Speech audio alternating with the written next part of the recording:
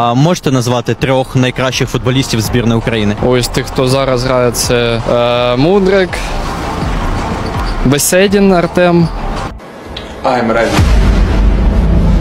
А можете розповісти, чим вам подобається Артем Беседін? А Артем Беседін, ну, коли я, скажімо так, дивився за футболом, він був непоганим нападником, за Динамо Київ грав, тому нема, не було претензій на той момент. А які його чесноти вас е, підкорили? Ну, він як форвард е, повинен знати гольове відчуття.